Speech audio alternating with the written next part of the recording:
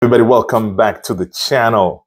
This is Man United Central, guys. Ole Gunnar Solskjaer has been talking. He was talking everything about his time at Manchester United. So what did he say? He was talking about his, um, he mentioned something about Ronaldo, his regret on signing Ronaldo, missed transfers. The, talking about the first thing was like, look, he regrets over signing Cristiano Ronaldo, right? So basically he's saying, look, uh, there was huge challenges when they brought in Cristiano Ronaldo because the squad had to, they had challenges integrating Cristiano Ronaldo into the Manchester United squad.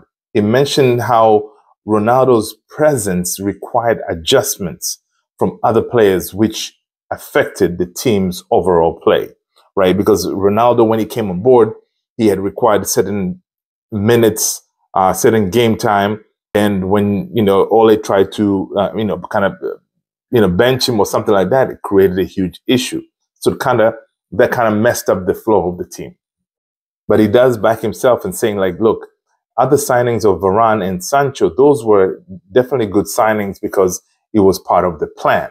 But Ronaldo was not really part of the plan. It was kind of a, a you know the spur of the moment thing. That when the situation came up that they, we could get uh, Ronaldo, they had to jump on it and then they brought him on board. But it was not the right move. Also talks about missed transfers, guys. He said like, look, uh, he tried to sign uh, talents like Declan Rice, Jude Bellingham, and Erling Haaland, but Manchester United failed to acquire them. Apparently, the club already had enough reports on Erling Haaland before moving to Borussia Dortmund, and then they decided not to pursue him further, which to me, this was a huge mistake, right? And in Jude Bellingham's case, Solskjaer suggests Sir Alex Ferguson wasn't allowed to be involved in the transfer negotiation. Another huge mistake, which might have played a role in Manchester United missing out on Jude Bellingham. Imagine that if we had Jude Bellingham at Manchester United right now, right?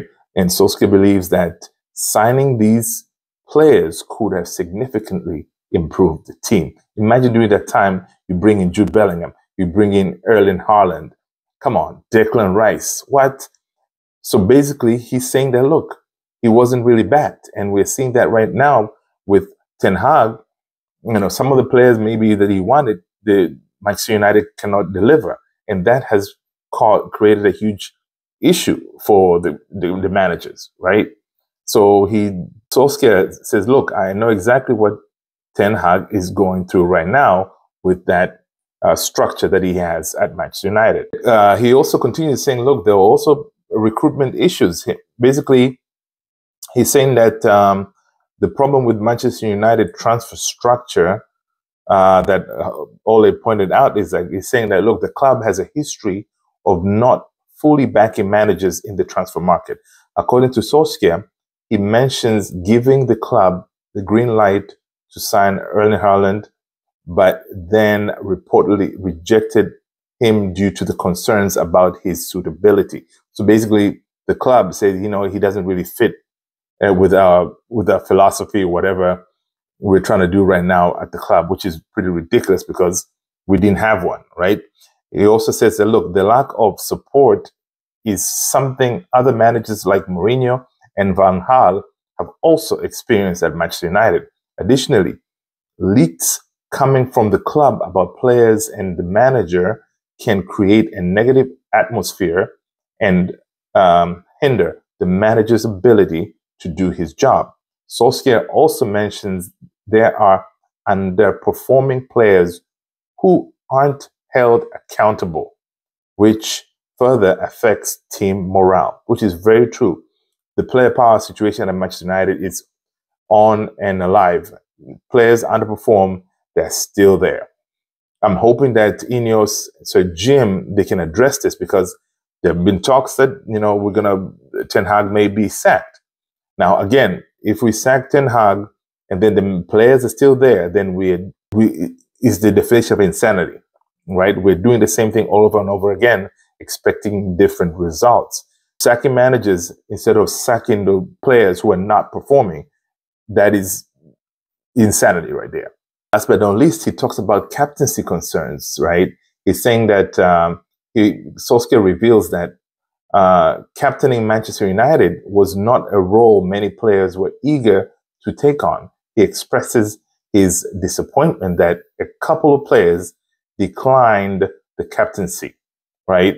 Um, he didn't want to mention those players, but basically saying some of the players, they, they didn't want to come to his face and say, hey, boss, hey, gaffer, I don't want to be a captain. My reasonings are here, here, here, here. They didn't do that. They would tell like, they'll go and have their agents or some other people go and tell the manager. He backed Harry Maguire being a, a tremendous leader. Also, he says that um, Bruno Fernandes also had leadership uh, uh, abilities uh, like a captain, and he was very vocal. But he also remembers telling Bruno, like, look, you are too emotional, right? Whenever he anything happens on the field, he's always like, you know, doing all this, you know, moves like, you know, you know how Bruno is. Uh, so he remember telling him that you, you're too emotional. You need to calm yourself down, especially if you're going to be a leader of this team.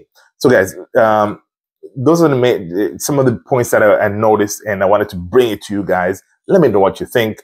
Leave a comments below. Make sure to hit the like, subscribe, and hit the follow. That way you do not miss any new videos coming to this channel. Thank you so much. Peace out.